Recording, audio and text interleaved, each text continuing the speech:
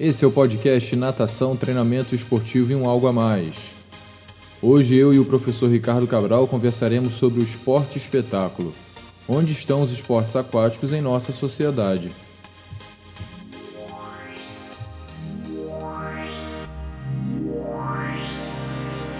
Boa noite, Cabral. Boa noite, Guilherme. Tudo bem? Tudo bem. Boa noite, pessoal.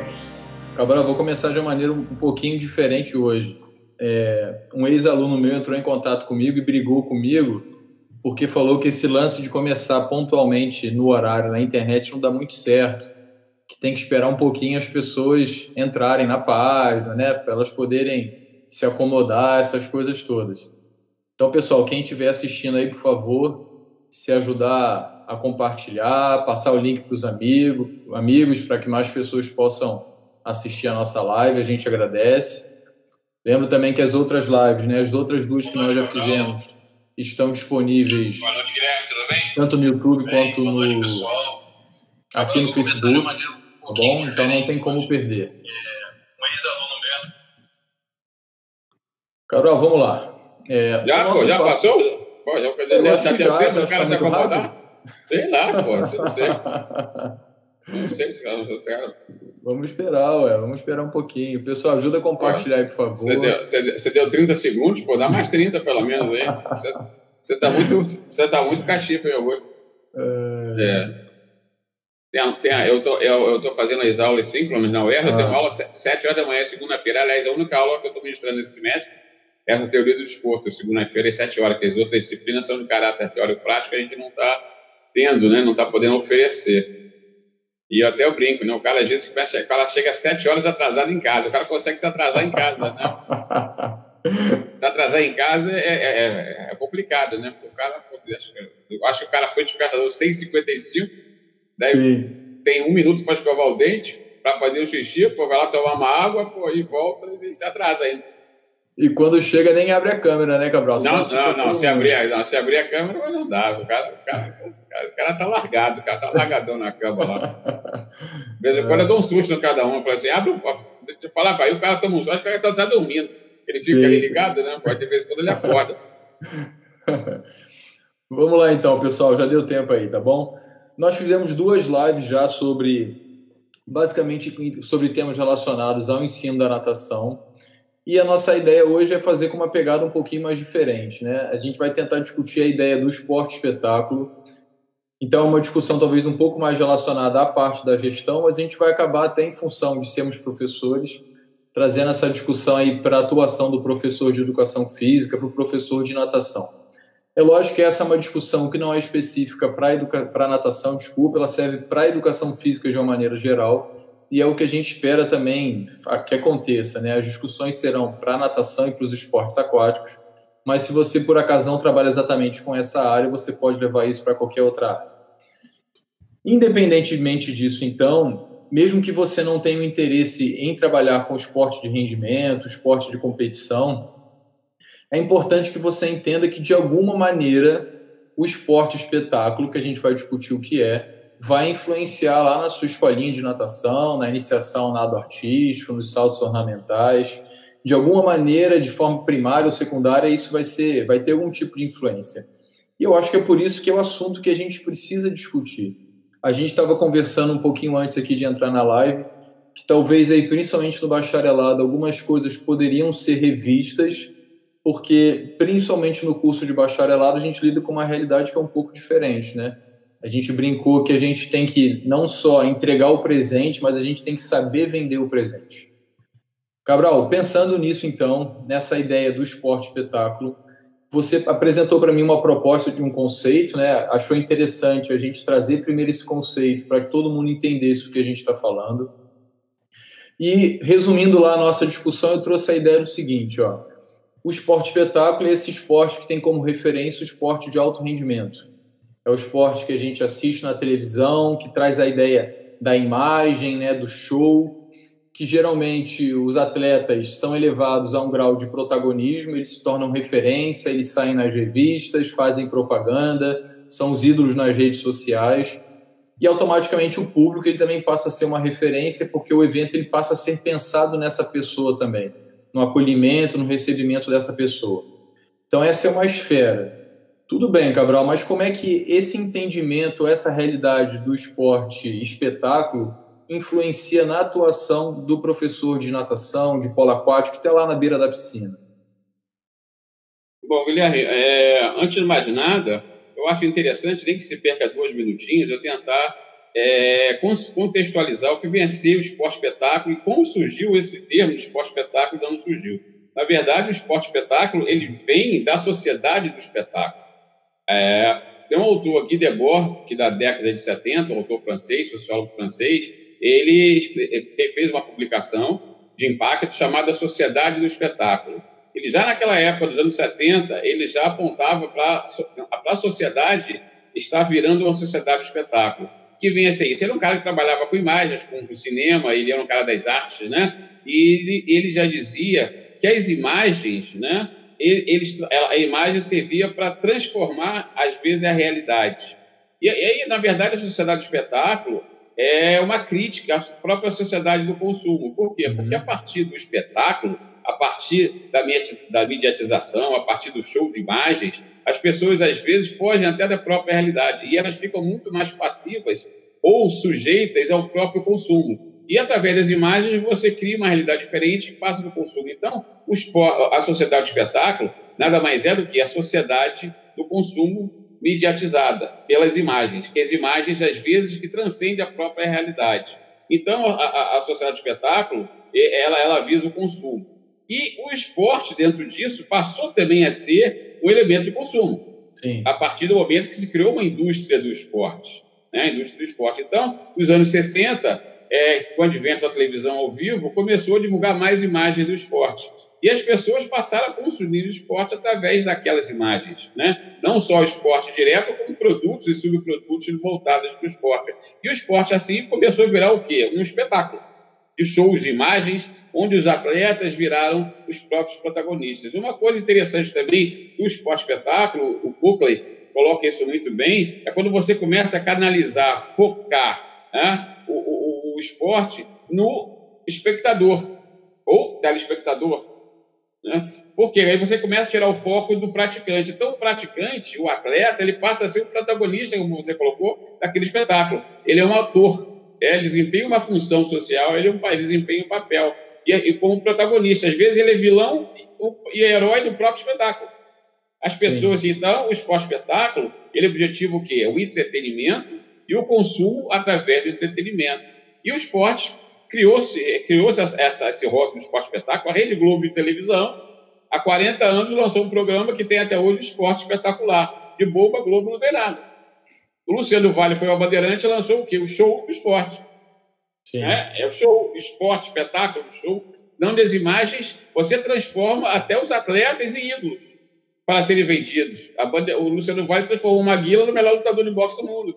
Sim. O Rui Chapéu da sinuca, no melhor jogador do mundo, todo mundo queria jogar sinuca, ninguém nunca viu sinuca na vida, e já. é, então a imagem, né, que jogo de imagem faz isso. Em relação aos professores, nós não devemos, é impossível, Guy Debord coloca isso. Ele faz uma crítica à sociedade do espetáculo, mas ele coloca ao mesmo tempo que é impossível você ir na contramão. Porque as imagens estão aí. Olha que ele falou na década de 70, ele não dimensionava que outras imagens hoje em dia, através da internet, são muito mais Sim. visualizadas e você, você produz seu próprio show. Eu vou sair daqui e você vai divulgar essa, as nossas imagens né, daqui a pouco. Né? Tudo que é, o cara vai lá, tira uma selfie, vai tomar um sorvete na esquina e tira uma selfie. Daqui a pouco tem 400 milhões de seguidores e o cara tomando açaí da esquina. Né? Então, você gera as suas imagens, você cria um consumo, você vira um produto e o esporte espetáculo é isso. Então, como professores, nós não podemos fugir disso, porque o esporte de rendimento, o esporte espetáculo está relacionado, como você falou, esporte rendimento. Você não tem como tirar. A criança vai assistir a televisão, vai ver o Michael Phelps, vai ver o César Cielo, vai ver o Caleb Dressel, vai ver a, a Katina Hansu, vai ver, e vai querer ser igual. E através do Phelps, do Caleb Dressel, do Cielo, você vai vender óculos, vai vender touca, vai vender prancha, você vai vender aulinha de natação, você vai vender, você vai vender tudo. É o esporte, ele vira o esporte espetáculo. Agora, a gente tem que ter uma consciência crítica até que ponto a criança pode ser moldada nisso daí ou não. Tem que ter um senso crítico. Né? Agora, a gente tem uma participação nisso. Nós somos vendedores de serviços esportivos. Não tem como fugir disso. Cabral, eu entendo assim que isso é tão marcante que às vezes a própria sociedade cobra um tipo de comportamento do atleta, porque se cria um ideal de atleta e se aquele atleta que você criou esse ideal não corresponde à sua expectativa, ele perde patrocínio, ele é cancelado nas redes sociais. Isso aconteceu, Exatamente. por exemplo, no ciclismo, né? Uhum. Descobriram lá que o Lance Armstrong consumia algum tipo de, de doping, foi né, durante muito tempo, perdeu diversos tipos de patrocinadores. No futebol isso é frequente também. Então, ao mesmo tempo que você falou, né, que eles são os mocinhos da história, eles podem se tornar os vilões em função de um comportamento que ele tem às vezes fora do esporte, porque se confunde quem é o atleta e quem é claro. o indivíduo. É o atleta, é, é, é, é o atleta produto, né? É o atleta show. O Michael Phelps é um exemplo. O Michael Phelps, depois das oito medalhas de ouro em, em Pequim, foi Pequim, não, foi quando foi Pequim, 2000 e 2004, 2008, nem lembro mais qual foi as oito medalhas dele. Acho que foi 2008, Pequim.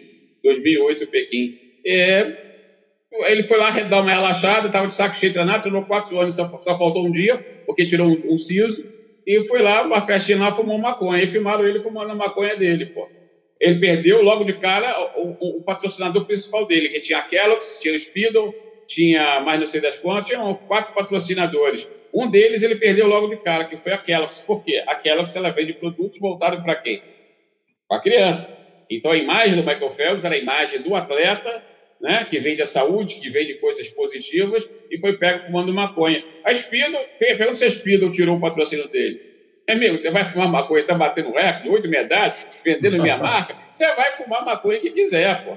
Desde que a firma você não seja punido pela federação, não seja topado, né? Agora, você vai vender minha marca. Pô. Então, esse jogo de interesses, né, ele existe, na verdade, porque o atleta faz parte disso, as pessoas se espelham nos atletas, sim, né? Sim. E o público, nesse esporte espetacular, o mais importante é o entretenimento do público. Aí que vem o espetáculo. A pessoa hoje, o foco está no espectador. O espectador é que tem que estar tá envolvido naquilo, ele tem que estar tá anestesiado, ele tem que estar tá é, é, algum, algumas pessoas falam alienadas naquele processo ali, sendo bombardeada por imagens, por fantasias, representações mentais, e o que, que ele quer ser, e toma de propaganda naquilo ali para sair anestesiado para comprar tudo. Pô, vai comprar. É, é vai particular é. o filho na dia seguinte, vai comprar óculos, vai, vai, fazer, vai fazer de tudo, né? Cabral, às vezes até as, as propagandas, né, ou a ideia hoje em dia, né, com as redes sociais, de mostrar o dia a dia do atleta, passa a ideia de como se ele fosse um atleta. Um atleta, não, desculpa, como se ele fosse um super-herói. Ele faz coisas que ninguém mais faz, ele acorda mais cedo do que todo mundo, ele treina mais do que todo mundo. O exemplo falou do Phelps, né? Ele não ficou nenhum dia sem treinar, a alimentação dele come três pizzas tudo do cara é exagerado, é, é. né? 10 mil calorias por dia. É, para mostrar que o cara é fora do comum, que o cara é extraordinário. Só que Mas, o cara é fora do comum, né? Só que, só que depende de... Sim, ele é sim. é fora do comum, né? Eu vou, eu vou comer 10 mil calorias por dia, vou treinar a mesma coisa que ele, eu vou ficar com 150 quilos e não vou, e não vou bater um recorde de 25 metros, pô. Né? Cabral, mas o, é professor, o professor que está lá na beira da piscina, se ele não tiver esse discernimento para poder separar o esporte de formação, ou o esporte educacional, o esporte de lazer e o esporte de rendimento, ele pode ter uma complicação na aula dele. Não, com certeza ele vai ter. Por isso, eu, eu acho que eu trabalhei em locais diferentes, coordenei escolas de natação em, em clubes e, em uma instituição pública que é a Sudeste. Eu tive lá 4 mil alunos por ano nadando, eu coordenava natação de manhã. Trabalhei uma época também com o Ricardo Moura, no Sportec no Vasco. São, era um objetivo diferente. Quando você matricula uma criança na escolinha de natação do Flamengo, ou do Botafogo, ou do Corinthians, ou do Pinheiros, que são eh, agremiações competitivas, o Minas Tênis Clube, a, a própria metodologia já é canalizada para a natação desportiva. Né? Então, o, o, os testes que se fazem já cobra-se resultado no teste, já cria-se um estresse nas crianças para poderem dar resultado daquele teste. É diferente de uma escolinha de natação da academia do peixinho d'água. E o cara, o garoto vai lá para aprender natação, vai lá para poder desenvolver habilidade, não tem objetivos competitivos, né? Então, nesse tipo de natação, a cobrança não é grande. Até os pais, nem hoje em dia, estão muito presentes, banda babá, banda não sei o quê, os pais nem, nem acompanham o desempenho dos filhos. Já num clube, a história já é outra, já canaliza, canaliza a competição para o esporte, da busca do rendimento. Então, essa cobrança é, é grande. E os atletas são envolvidos já nesse clima do esporte de competição, do esporte do resultado. Só que o espetáculo, ele vira, ele vira espetáculo quando é, começa a, ter a conotação de show para o público, mostrar para o público aquelas habilidades todas. O, o, o, o, esporte americano é bom, é um espetáculo, por que principalmente? Porque só tem atleta bom. Você vai ver qualquer jogo da NBA, você, não vai ver um vencer por 120 a, 40. Uhum. Qualquer jogo é 110 a 108, 97 a 94. Você não vê, porque é jogador bom. E agora, eles, só o jogador bom adianta para o espetáculo? Não, eles têm que criar outras coisas. Aí cria esse mascote, cria todo o envolvimento de marketing, tinha, cria o espetáculo não se resume ao jogo em si, né? É, o, o, o, público interage com o espetáculo, aquele kiss, os o beijo da arquibancada, o mascote da arquibancada brinca com, interage com o público público é participante, é, é ativo. Então, o foco está no público. Tudo que tem que ser feito na quadra é para agradar quem? Ao público. Então, aí vira o esporte espetáculo. Aí é quando eu falo agradar o público, o público e os patrocinadores que bancam aquele evento. Sim. É? Que aí que está estimulando o consumo. A própria franquia NBA e da NFL são franquias que valem milhões e milhões de dólares, né? Então gera lucro. O esporte espetáculo é esporte de rendimento focado para o entretenimento o público e que visa o quê? O consumo. É, é essa é a história do esporte de entretenimento. E quanto mais entretido tiver o público com um espetáculo, maior a possibilidade de consumir aquele espetáculo e as coisas que derivam daquele espetáculo. E nós, professores, a gente tem que ser ciente disso, para ter um posicionamento crítico. Sim, Regra, sim. receita do bolo não existe, mas você, o professor, tem que saber disso. Eu falo com meus alunos isso, eles têm que ter um entendimento que é o esporte espetáculo, que ele está inserido no esporte espetáculo. Não é esporte rendimento, é esporte espetáculo, não tem jeito. Beleza, Cabral. O professor ainda tem essa formação, né? ele tem esse discernimento. Pode ser que muitas vezes não, mas pelo menos ele tem essa, essa discussão ao longo da formação dele. Mas a criança, que é o nadador, e os pais também têm contato com esse esporte espetáculo, esse esporte entretenimento. E eles podem também ter uma visão diferente daquela que ele vai encontrar no clube. Eu posso ter, entender o que é o esporte espetáculo, e eu vou para uma escola de natação, por exemplo, uma academia que não tem a função de formar nadadores competitivos. E a minha visão da natação se torna incoerente com a visão da academia ou com a visão do clube. E, e aí, o que, que vai acontecer? Aí você, aí você cria uma situação completamente é, antagônica né? Que você tem que ter jogo de cintura. Há, há, uns anos atrás, minha esposa era professora da Física aqui na Tijuca, uma da academia que tinha piscina de 25 metros, sei lá quantos anos atrás, 10 anos atrás, e eu, o, o, coordenador, o dono da academia, estava achando que o movimento da natação estava fraco e me chamou para coordenar. Eu, eu, não podia coordenar, porque tinha EOERG, tinha CBTA, tinha, era, era confusão danada. Eu praticamente fiz uma assessoria ali, fiquei alguns uhum. meses ali, dois, três meses e eu vinha de uma mentalidade de natação esportiva. Eu nunca tinha dado aula em academia de natação, escolinha de natação. Para mim, natação tinha um objetivo. Né? E então, e eu, eu, a primeira vez que eu, eu, primeira semana lá, quando eu comecei a mudar, fiz lá um, aos sábados uma entrega de, de passagem de turma. Aquele diplomazinho, agora para bem você já sabe nadar, passar para a turma do tubarão, a turma do peixinho, do não sei o quê, aquela coisa toda, e marquei os sábados para os pais, os pais assistirem os desempenhos dos filhos entregar. Uma decepção, não foi ninguém. Pouquíssima gente. E os que foram ficavam olhando o relógio, pois não vai acabar, não? Sim, sim. Porque eu fazia aquilo em ambiente competitivo. E a, e a, e a participação dos pais era de 100%. Os pais já estavam envolvidos naquilo. Então, são realidades diferentes. Então, o professor também tem que ser jogo de cintura. O que, que eu fiz? Eu não parei com essa atividade. No mês seguinte, que era o último sábado do mês, eu falei o seguinte: só vai quem quer. Que é o que, eu. Ah, e, e, e, o pai da criança que não for, não, ele vai ser promovido durante a semana. O professor vai dar o diplomazinho dele, dá para babá, dá para vovó que leva, e tá aí tudo bem.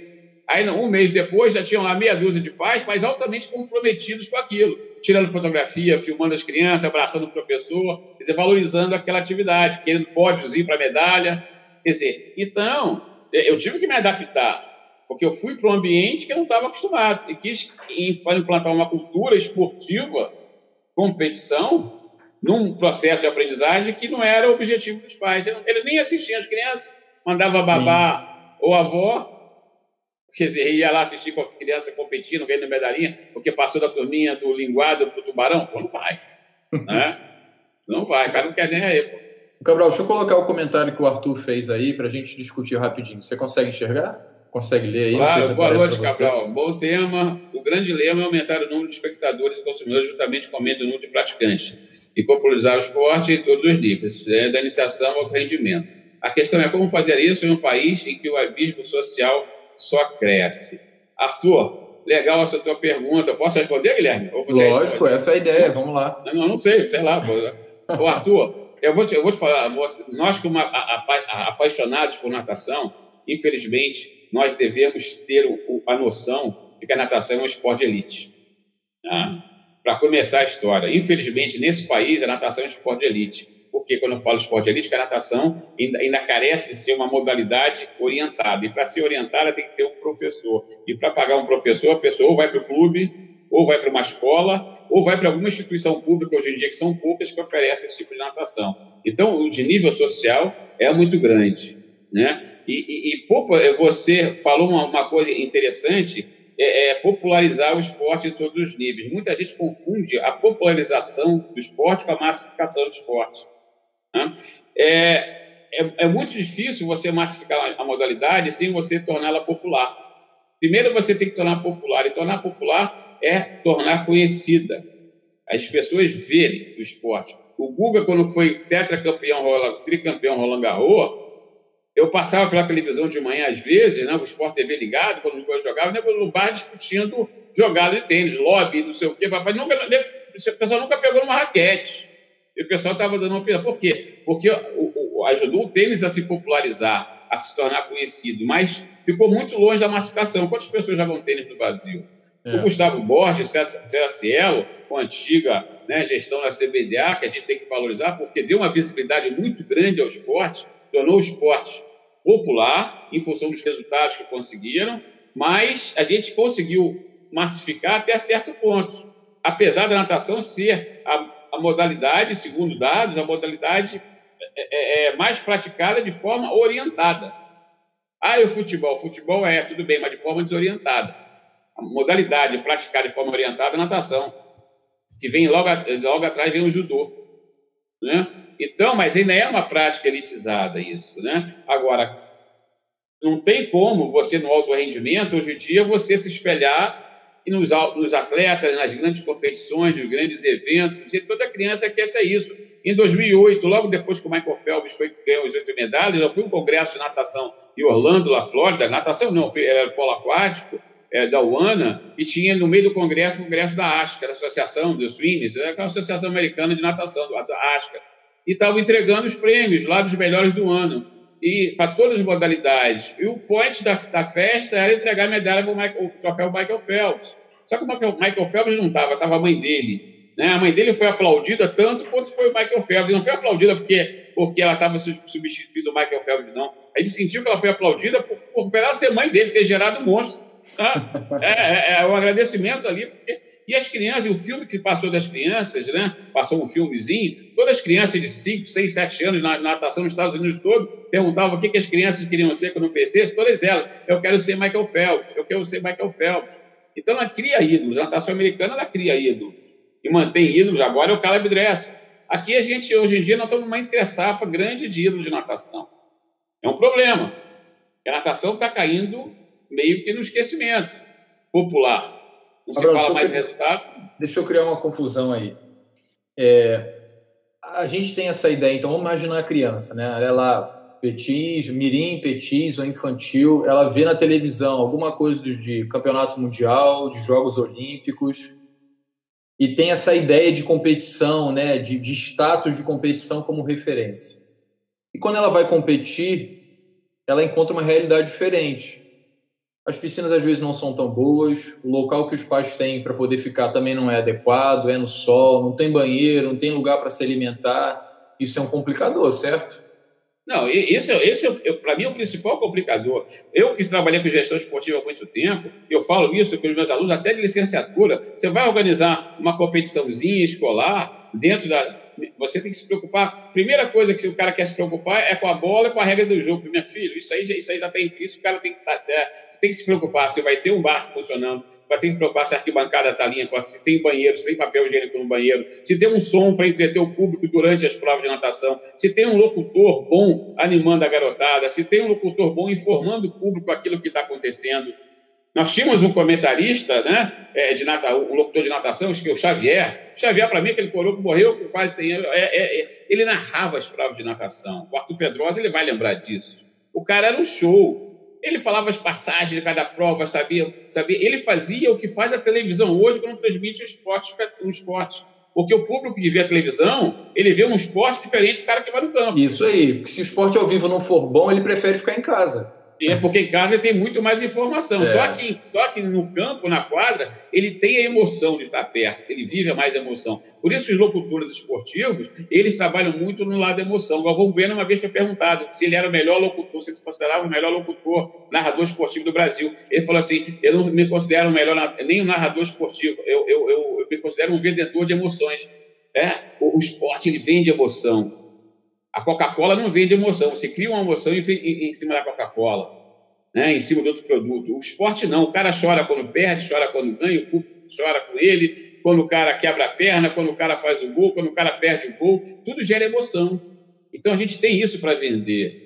Né? Agora, o professor tem que saber eh, tocar o, o, aluno, a criança, naquela emoção que ele quer sentir, que os pais querem sentir. Às vezes você tem que mostrar para o pai que ele melhorar meio, meio segundo e ficar em último lugar, foi ótimo, foi bom para ele, ele melhorou meio segundo. Ele tem que entender que os outros estão melhores do que ele. Ou que tem mais habilidade, eu não sei, mas então, mas você tem que manter aquele aluno nadando, aquela criança, porque aquele é bom para ele, é ser bom para a saúde, é bom para a interação social. Quer dizer, não tem regra do, do bolo, é, é, não, não tem receita do bolo. A gente pode dar os ingredientes.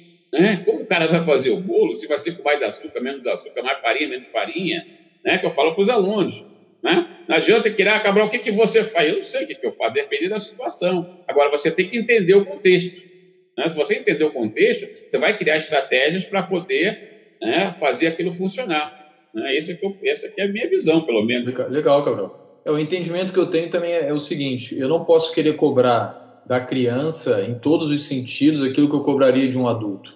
São momentos diferentes, são percepções diferentes do próprio ambiente, do mundo e eu tenho que cobrar aquilo que é adequado para cada momento. E por mais que muitas vezes o treinador tenha dificuldade de se relacionar com os pais, ele tem que convencer o pai de que aquilo que ele faz é o melhor para o filho dele. Uhum. Senão o pai vai tirar o filho da aula de natação. Ele tem que vender o produto, o serviço dele, né? Ele tem, o primeiro o cara tem que sentir que é de qualidade.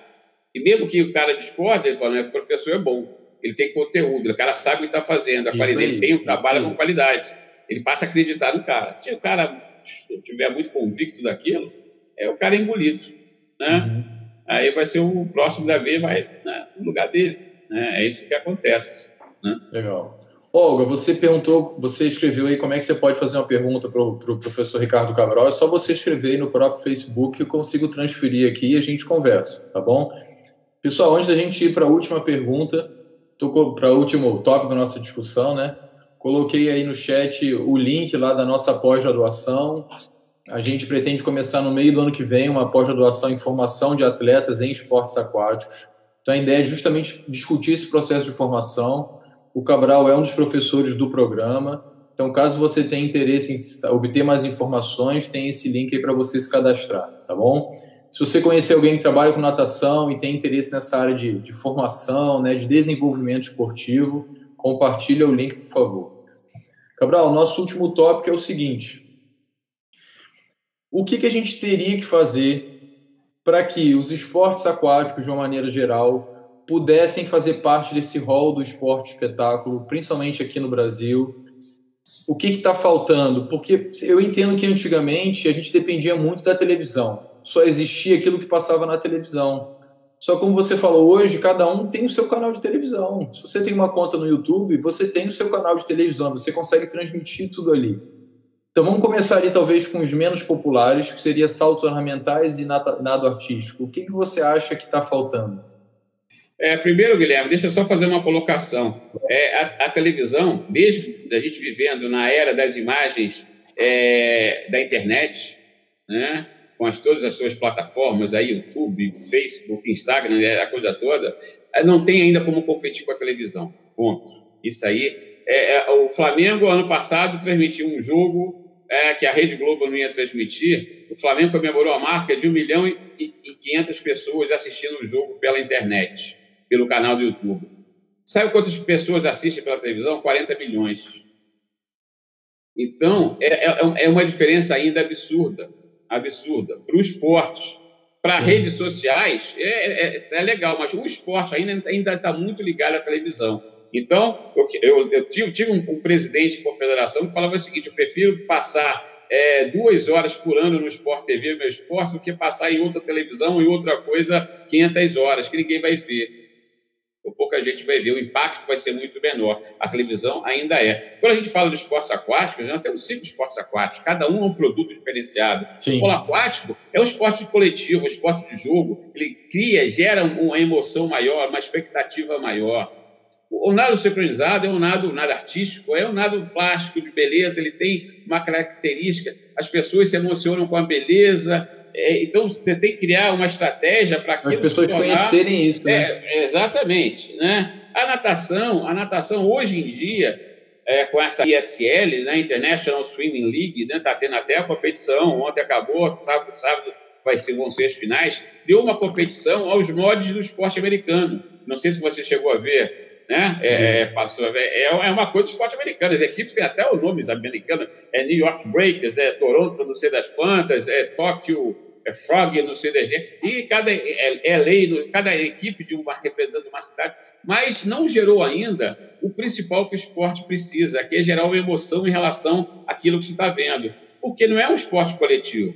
Mas a natação está procurando fazer isso. A própria Federação Internacional começou a mudar em função também dessa demanda da ISL. Agora, são esportes diferentes. Os saltos lamentais buscou um filão interessante qual é o filão? Ele criou o high dive lá, o salto lá, é o high dive, porque é um esporte outdoor, local público. O ambiente gera, geralmente interessante. É, é, é, é, um esporte que as pessoas hoje em dia gostam, que, de adrenalina e desafio, de, aventura, de né? perigo, né? desafio do perigo. Então as pessoas gostam, ele criou o nicho lá do salto elementar. Botar o salto elementar na televisão, caraca, é uma coisa, eu, eu eu, eu, eu tenho, tenho aquela comentarista, Celina, que se formou comigo, o irmão dela foi o Milton Braga, Celina Braga, a mãe dela foi diretora da federação. Ela, para mim, é fantástica.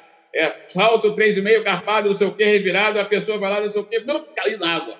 Aí pegou, só pergunta para Celina, o que, que você achou? Não, o, o pé estava assim, a perna assada, não sei o quê. Eu falei, que isso? Em, em menos de 3 segundos, 2 segundos, ela, ela descreveu. Eu daria nota 5,7 para lá, as notas 5.8, 5.6, 5.7, mas ela entende aquilo. Quem não entende, uhum. para mim é tudo igual. Eu brinco é. com a Sônia, a Sônia durante sincronizado, para mim, na sincronizado não tinha que ter nem competição. Para mim, nada, nada sincronizado, na é show. É um show, porque vai dizer que uma é melhor que a outra. Porra, tudo bacana, tudo bonito pra caramba. É igual de filhos para de samba, vai, ganhou por um décimo a mangueira do Salgueiro, vem cá. Pô, e aí? Né? É, o público, de uma maneira geral, não percebe essa sutileza, não, não, não né, para poder entender o, o, esporte. O público vai lá para entender. E essa competição IS, IS, ISL, eu assisti três dias seguidos. Eu não consegui entender a competição. Eu vou buscar até para a semana que vem, na internet, no Google, o regulamento, porque eu não entendo como se formam essas equipes, o regulamento, o cara escolhe uma competição, e os, os próprios comentaristas eles não explicam direito aquilo.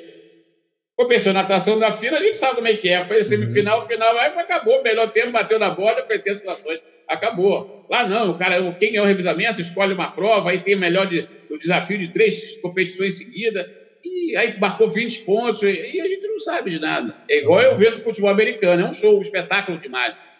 Mas eu não entendo patavina, vejo todo ano, Super Bowl. Aquilo ali é fantástico. Para mim, é um show de esporte aquilo ali. Mas eu não entendo.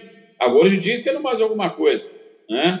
Então, a Nata, quando ele fala esportes aquáticos, precisa ser, ser mais. É, é, é, trabalhar mais nessa linha de espetáculo. Eu, eu falo que não é só o esporte aquático, é só o próprio esporte dentro de níveis menores, já que é canalizando o rendimento. O professor tem já se preocupar com isso, né? de entreter o público, de dar ao público algo mais do que só o próprio atleta nadando, sim. só jogando polo aquático, só competindo. Tem que se criar uma atmosfera né? É isso, isso aí que visa o esporte espetáculo, né? Então, no esporte aquático é difícil a gente falar, é, é porque são características completamente diferentes. Eu né? lembro, Cabral, Natação... eu, fiz um, eu fiz um curso lá no Maracanã sobre gestão de arenas multiuso. E na, no curso eles discutiam justamente isso, né? O, o público, a pessoa a, a, a, pisou fora de casa, até o momento que ela volta para casa, ela tem que, tem, que, ela tem que passar por uma situação de excelência. Não, se ela for de ônibus, se ela for a pé, se ela for de táxi, ao chegar no estádio, tudo isso tem que ser de excelência. Não dá é, é para assistindo o jogo. É, é, porque a gente não tem muito tempo. Senão eu ia te contar a minha primeira vivência da NBA que eu assisti, junto com o Dr. Cláudio Cardoli, que era o nosso coordenador médico, ele é do basquete, hoje em dia do basquete do Flamengo, quando a gente estava numa Liga Mundial em Long Beach, perto de Los Angeles, ele se de assistir um jogo da NBA de basquete, um playoff. Era LA, é, é, é, o Lakers né, contra, contra é, esqueci o nome, eu esqueci o, o nome do, do, Era um playoff. Eu falei com ele, cara, você não vai conseguir. Tentamos comprar pela internet, ele não conseguiu, porque o cartão de crédito tinha que ter o bill né? É, é, é, tinha que comprar lá. Então, eu peguei o telefone e comprei pela internet. Aí o cara falou assim: não, você tem que chegar, pegar o ingresso quarta-feira, três horas da tarde. Jogo era às sete. Até depois de três horas da tarde. A gente, a gente, com uma mania de Brasil, não, vamos chegar lá cedo, porque a gente pode pegar a confusão. Chegamos lá três e dez estacionamento não tinha ninguém. Foi o primeiro carro de estacionamento. Cancelaram. Quando chegar no, quando chegar no estacionamento, estava lá umas placas escritas assim: retirar o carro no máximo 30 minutos após o jogo. Eu falei, cara, você é um estacionamento americano? Um cada um, igual naquele negócio? Uhum. Né? Não, o primeiro a chegar, não vou ser o último a sair. Como é que a gente vai tirar 30 minutos depois do jogo? Os caras estão loucos. Aí vai demorar 10 horas aqui e não vai conseguir tirar esse carro. Ah, tudo bem. Lá pegar o ingresso. Pegamos o ingresso, três e meia estava o ingresso na mão. O jogo era às sete. O que, que a gente vai fazer? Fomos lá para a ESPN, ESPN Zone, que é a a, a, área, a área de entretenimento da, da ESPN, né, que era a emissora que diária as imagens, antes dos jogos. Todas as mesas lá, tomamos uma cerveja, tomamos uma pizza, todas as mesas com monitores de televisão. Ah. Aí eu fui fazer um xixi, monitor televisão tudo quanto é lugar, no banheiro, você não perde um lance do jogo. Porque as pessoas vão lá e não vão para o estádio. Você tem gente que vai lá assistir o jogo na ESPN Zone para consumir. É cerveja, cachorro-quente, Coca-Cola, é pizza, cara, e vai vendo o jogo. Quando o portão abriu 6 horas da tarde, uma hora antes, você entra no estádio, no Staples Center, você não tem portão de entrar igual Maracanã, você entra pelo uma mega store, uma loja que vende tudo do Los Angeles Lakers. Você não tem como passar por ali sem comprar, sem comprar um chaveiro, porque um chaveiro, uma camisa que você compra, não é um chaveiro, é a recordação daquele momento que você foi lá. Então você senta nos, você quando você senta, você fala assim, pô, me vendeu o ingresso Pô, de 85 para era que só, é, e está vazio. 15 minutos antes do jogo, enche tudo. Todo mundo tem o seu lugar certinho. Se você quiser sair ou não ir, ou chegar no primeiro segundo tempo, você está no seu lugar certo.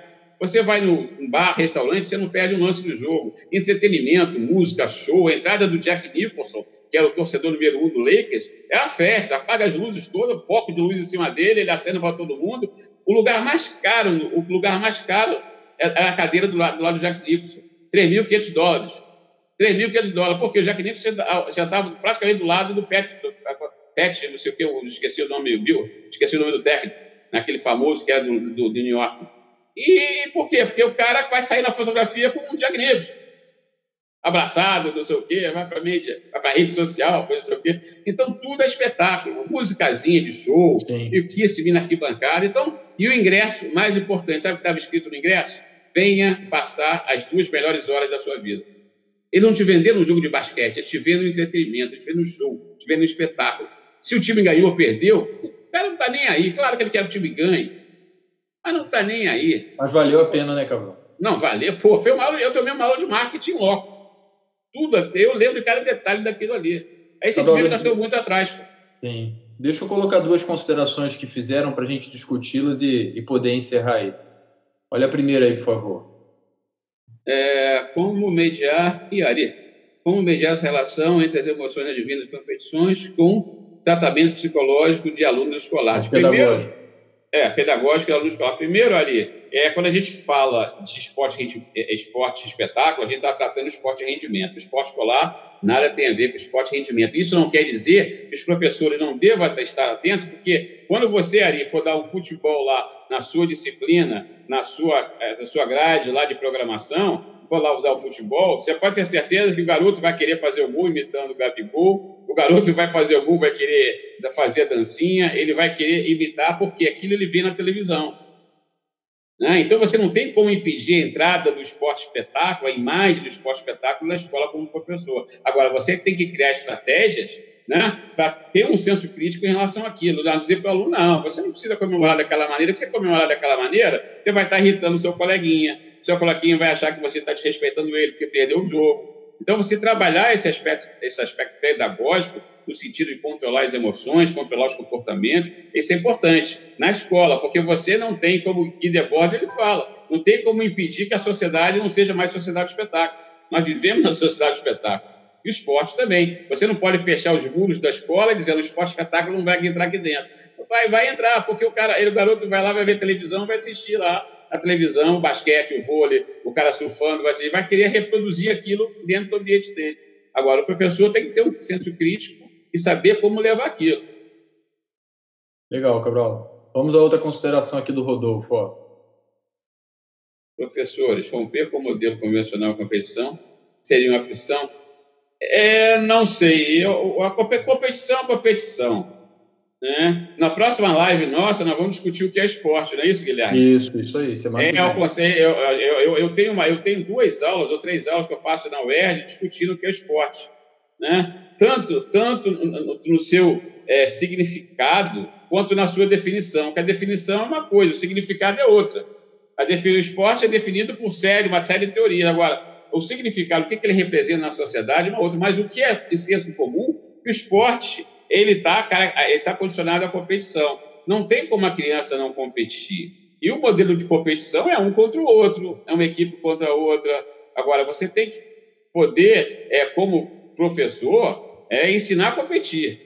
Ensinar a vencer, ensinar a perder, ensinar a respeitar o adversário, ensinar a, a reconhecer as suas dificuldades, ensinar a, a superar as suas, suas dificuldades, reconhecer que o outro tem mais qualidade que você. E, e isso é ensinar a competir. Né? Ensinar a competir não é ensinar a vencer, né? Cabral, é, existem teorias aí do treinamento em longo prazo que eles dividem esse processo de formação em diferentes etapas. Né? O primeiro seria uma etapa que eles chamam de fundamental, aí traz a ideia do fã, né? que a criança está se divertindo, é. sentir prazer pelo esporte. Depois ele vai treinar para aprender, depois ele vai treinar para treinar, depois ele vai treinar para competir e só depois que ele vai treinar para ganhar. Então pode parecer assim é, alguma coisa, Rodolfo, na minha opinião, é né, muito filosófica e tudo mais, mas é, ainda é a teoria que sustenta a ideia de que a criança vai permanecer no esporte por mais tempo. Porque se, se a un... eu entendo que se a única motivação dele de ficar no esporte é vencer, vencer só um ou dois que vão vencer. Claro. Não tem Isso jeito. existe. E se vender o produto errado. É motivação para uma criança de 10, 11 anos. É, é, é você estar tá jogando fora é, crianças, né? E crianças que vão pagar para você ser técnico. Sim. É a verdade. Eles não vão querer mais. Você não pode ensinar a vencer, perder, reconhecer, que eu falei, tudo faz parte da competição. Você não ensina só a vencer. Né? Você não ensina, você, essa é loucura. Agora, a criança, a criança, no ser humano compete por natureza. Nós evoluímos ao longo da história da humanidade, desde a época das cavernas até hoje, porque a gente competiu. O ser humano competia com tudo, para caçar, para buscar água, para não sei o quê, para brigar com os outros, ocupar espaço. Criança, você vai para um parquinho com criança de dois, três anos de idade, deixa as crianças brincando no parquinho, você vai ver que elas vão competir pelo brinquedo. Um pega o baldinho que estava largado, o outro lá vai querer pegar o baldinho que ela pegou. Por que? Não sei. Né? Aí você tem que ensinar a criança, não, meu filho, deixa, deixa o amiguinho brincar com esse baldinho, você não estava brincando. Uma fala assim, aí eu vou lá no balanço, lá no escorrega, outra sai correndo, chega lá, chega lá e fala assim, cheguei primeiro, cheguei primeiro. Pô, vem cá, quem que mandou, quem falou, quem que ensinou a criança a competir? Já faz parte da natureza. Então você tem que analisar a competição para algo positivo.